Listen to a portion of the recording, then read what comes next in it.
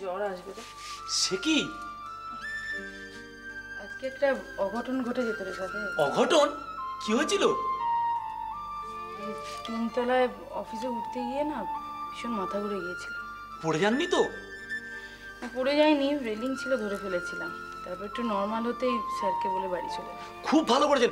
আপনি বরং রেস্ট নিন আমি ডাক্তারবাবুকে ডেকে নিয়ে না না ডাক্তার ডাকতে হবে না একটু শুলেই ঠিক হয়ে যাবে ছাড়।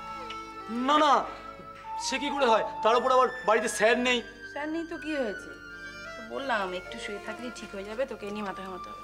না না না এরপরে মাথা ব্যথাটা যদি বাড়ে তখন কি হবে? ক্রোসিন আছে খেয়ে নেব ঠিক হয়ে না। না ওরকম পটাপট ওষুধ খাবেন না। স্যার কি বলেছে জানেন? স্যার বলেছে ওরকম টপটাপ ওষুধ খেলে পরে নাকি শরীরে নানা রকম নতুন নতুন রোগ দেখা দেয়। এই রাখতো তো স্যারের কথা।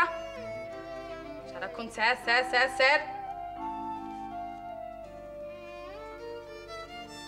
বৌদি একটা কথা বলব? বল। কড়া করে চা খেলে না মাথা ব্যথা একদম ছেড়ে যায়।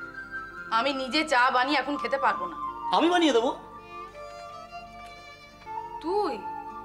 তুই চা বানাতে পারিস? হ্যাঁ পারি। দেখবেন কড়া করে চা বানিয়ে যদি আপনি খেয়ে নেন কড়া করে চা শরীরটা কেমন ঝরঝরে হয়ে যাবে দেখবেন। হ্যাঁ আমি বানিয়ে নিয়ে আসি হ্যাঁ। সাদে।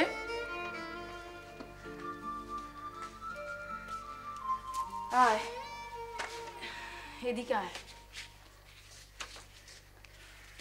দীপ্তেন কেন এসেছিল রে? ওই মানে কলকাতা আমি কিছু চিনি না তো তাই একদিন বলছিল। কি বলছিল? বলছিল ওই গড়ের মাঠে নিয়ে গিয়ে দেখাবে কোন মাঠে কেরম প্র্যাকটিস হয় তারপরে কোন মাঠে ফুটবল ছাড়া অন্য খেলাধুলা হয় সেইগুলোর জন্যই। তাই নাকি? হ্যাঁ তারপর আমি আমি- তো ওই কলকাতার রাস্তাঘাট চিনি না তো। তাই তোকে একটু ঘুরে দেখাবে বলছিল। হ্যাঁ আরও বলছিল আরও বলছিল ওই যে খেলাধুলার সরঞ্জাম যেখানে পাওয়া যায় সেই সমস্ত দোকানপাটগুলো আমাকে চিনিয়ে দেবে।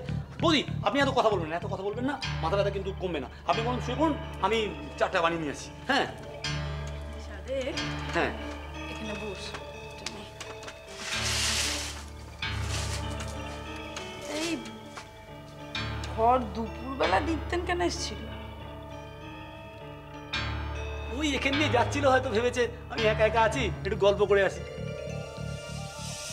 বই টইয়ের কথা কি যেন বলছিল একটা? বই? কই না তো? কি?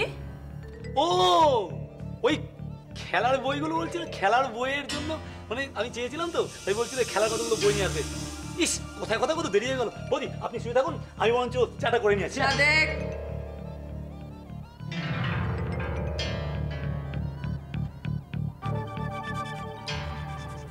চিনিটা একটু কম দিস।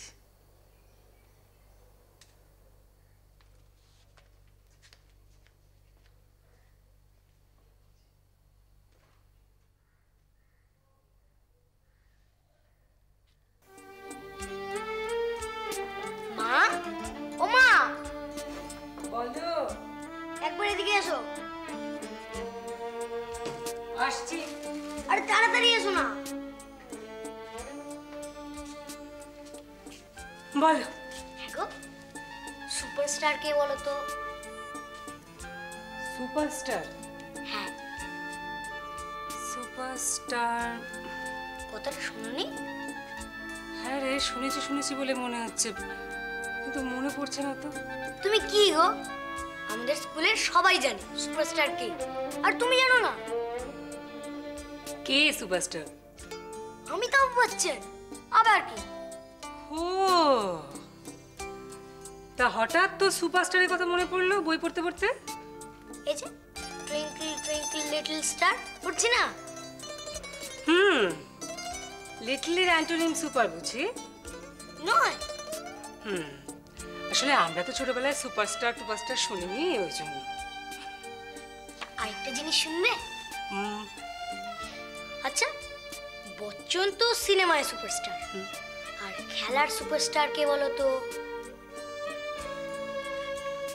গাভাস্কার। সে তো ক্রিকেটে আর ফুটবলে কে সুপারস্টার? চুরি গোস্বামী। ধুত কেন? চুনি গোস্বামী তো ওল্ড গো এখনকার বল হাবিব। হলো না। কেন? হলো না কেন? তবে কি? সুভাষ ভৌমিক। তুই কোত্থেকে জানলি? কোত্থেকে আবার জানি সবাই জানি। জানো তো আমাদের কোচিং ক্যাম্পে সামনের রোববার আসবে। তাই নাকি? হ্যাঁ তুমি যাবে? তোমার সঙ্গে আলাপ করিয়ে দেবো। যাব। জানো তো বাবা? হুম। মা না খুব বোকা। তাই নাকি? হ্যাঁ। কেন? সুভাষ ভৌমিককে চেনে না? কি বলবে বলো? সেই তো। না তুমি পড়াশোনা করো। হ্যাঁ। হুম। হুম। ক্লাস তুমি ও ঘরে গিয়ে আচ্ছা। হুম মন দিয়ে পড়ো বাবা হ্যাঁ। হ্যাঁ। চা খাবে তো। না আমি এক্ষুনি বসে যাব। না রাত যতক্ষণ পড়াশোনা করছে ততক্ষণ ড্রিঙ্ক করবে না।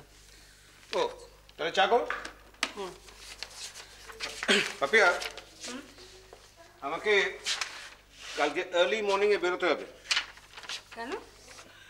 কারণ ভোরবেলা আমাকে ইস্ট বেঙ্গল ক্লাবে টেন্টে যেতে হবে সেখানে সুরঞ্জন আমার সাথে সবার আলাপ করে দেবে। সেখান থেকে ডালাউসি যাব।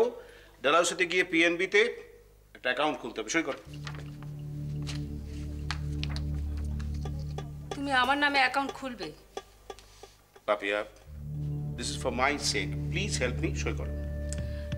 আচ্ছা আমি সই করলেই অ্যাকাউন্ট ওপেন হয়ে যাবে আমাকে ব্যাংকে যেতে হবে না? Papia, your signature is enough. Now, সই করো। তা কি করে হয়? না হওয়ার কিছু নেই। কারণ ওই ব্যাংকে সবাই আমাকে চেনে এবং যিনি সেভিংস অ্যাকাউন্ট দেখেন অর্ধেন্দ্রবাবু আমাকে অত্যন্ত ভালোবাসেন। তোমার সই করা ফর্মটা নিয়ে ফেললেই অ্যাকাউন্টটা গড় গড়িয়ে চলবে। সই করো। তা হবে না। কি হবে আমি সই করব না। পাপিয়া অসম্ভব! তুমি সব দিক থেকে আমাকে ফাঁসাবে নাকি? আমি সই করতে পারব না। পাপিয়া প্লিজ সই করো। না আমি সই করব না। তোমার ঘাড় সই করবে। করো। করো করো সই করো সই করো সই করো সই করো। না। বাবা। ভেরি ব্যাড ভেরি ব্যাড বাবা। সাদেক আমার ব্যাগটা দে তো।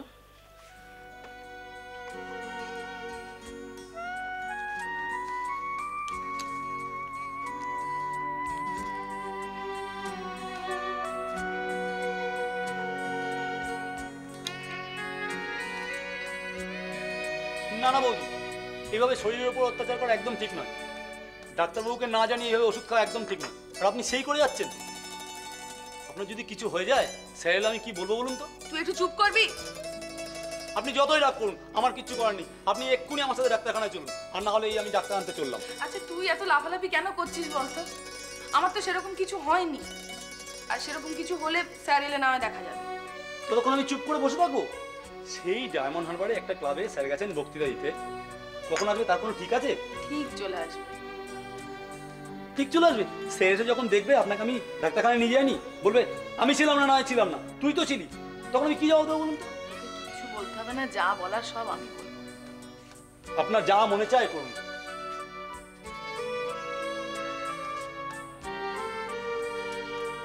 আপনি নামবেন আপনি নামবেন। দিন দিন আমি রেখে দিচ্ছি। বৌদি আমার একটা কথা অন্তত শুনুন। আপনি এইভাবে চুপচাপ বসে থাকবেন না। শরীর নিয়ে এইভাবে হেলাফেলা করা একদম উচিত না। তোকে আর পাকামো করতে হবে না তুই এখানে বস চুপটি করে বসতো সে নয় আমি বসছি কিন্তু আমার কিন্তু একদম ভালো লাগছে না। আমি স্যার আসলে সব বলে দেবো। কি বলবি? সে আপনাকে বলব না স্যার আসলেই বলব।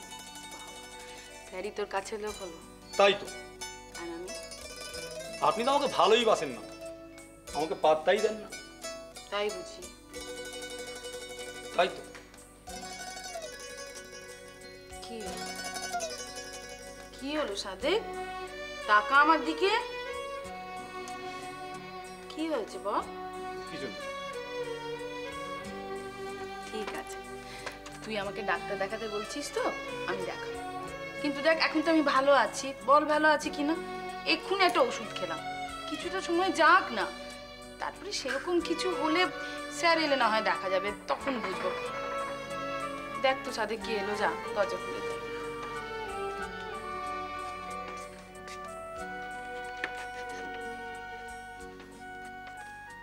স্যার আপনি এসে গেছেন? যাক বাবা নিশ্চিন্ত হয়ে গেল। এবার আমার ছুটি। কেন? কি হলো কি? সেই সকাল থেকে বৌদির মাথা ধরেছে প্রচণ্ড যন্ত্রণা। জ্বরও এসে গেছে। আমার কোনো কথা শুনছে না। বলছি ডাক্তারখানা চলুন তাও যাচ্ছে না। কি হয়েছে? কখন হলো? হ্যাঁ? কি রে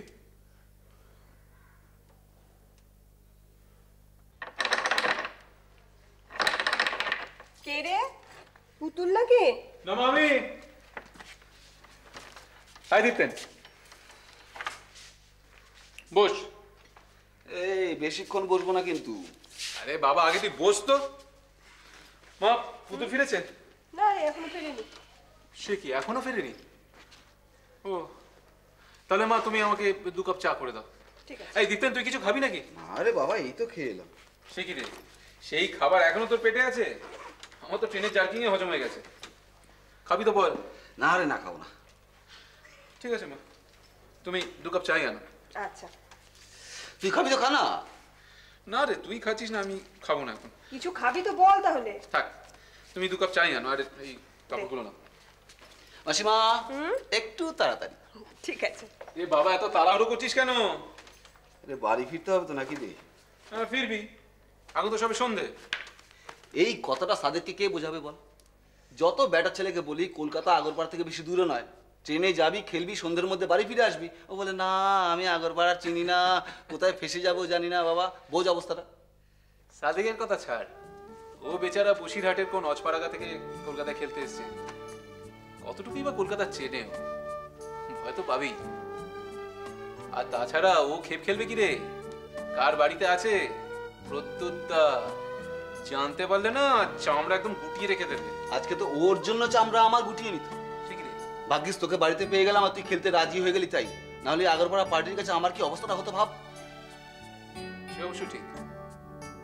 সন্দীপ দেন এবার থেকে খেপ খেলার ডাক পেলে না তুই তুই স্ট্রেট আমার কাছে চলে আসবি। যাবি? আরে এবার থেকে আমি রেটে খেপ খেলব। আসলে তোকে বলি না কেন বলতো? কেন? দেখ এই তুই এত বড় চোট থেকে সেরে উঠলি।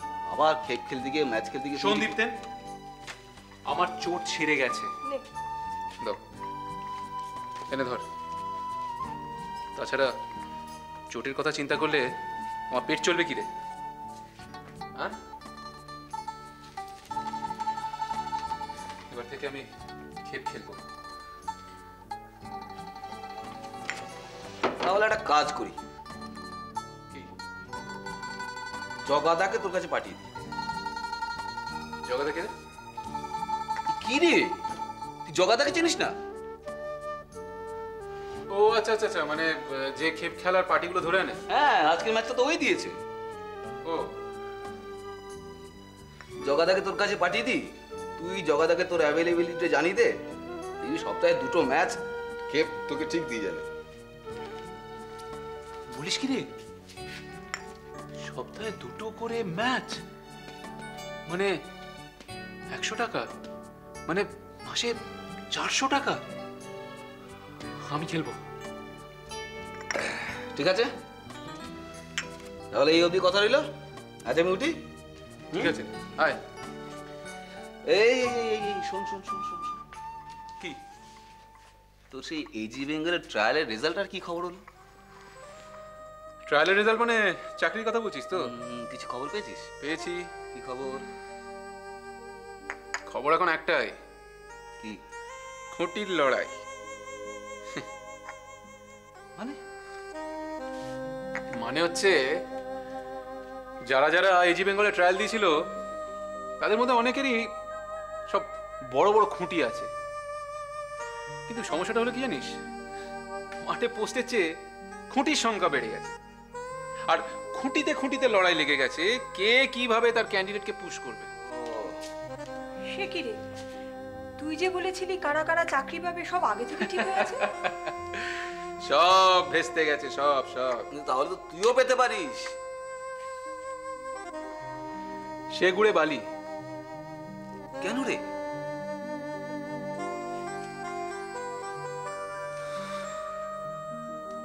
আমার তো আমার তো খুঁটিটাই নেই রে।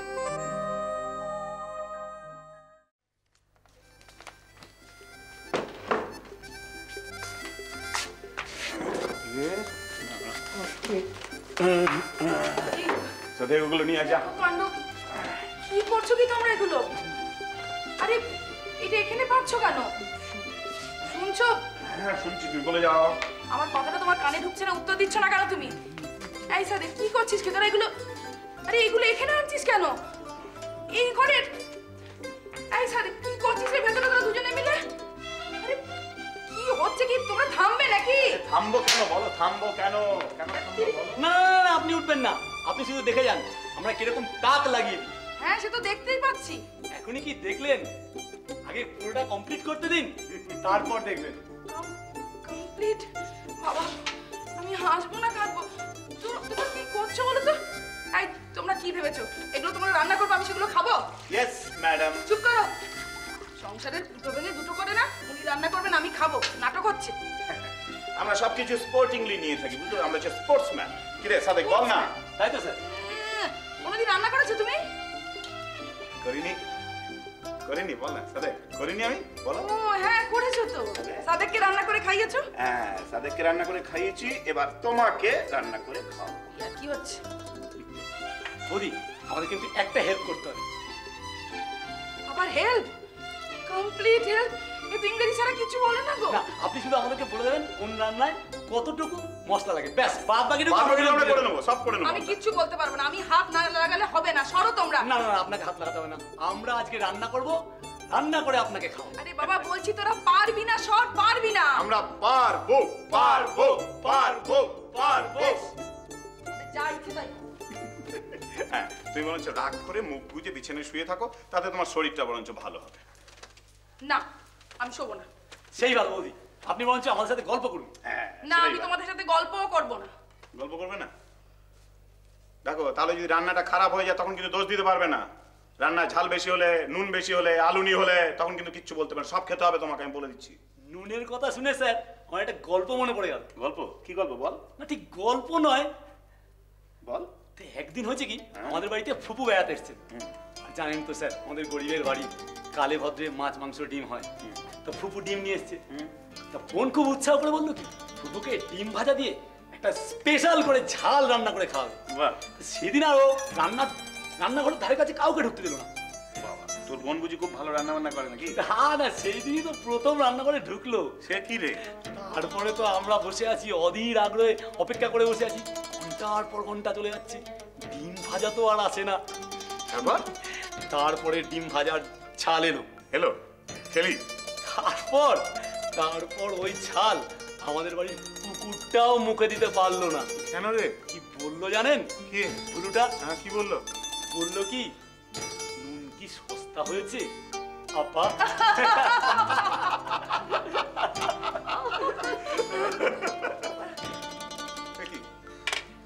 আর মাথাটা ঘুরে উঠল বোধ হ্যাঁ? তোমাকে বারবার করে এই শরীর খারাপ নিয়ে তুমি অফিসে যেতে তোমাকে কতবার বারণ করেছি? না না অফিসে যাওয়ার সময় আমার শরীর খারাপ ছিল না। তাহলে? অফিসে গিয়ে আমার শরীরটা খারাপ হয়েছে। তুমি উঠে উঠে বসো উঠে বসো উঠে বসো বসো। উঠে বসো। তোমাকে একটা কথা বলতে ভুলে গেছি। দীপ্তেন এসেছিল। আমি যখন অফিস থেকে বাড়ি ফিরি তখন। দীপ্তে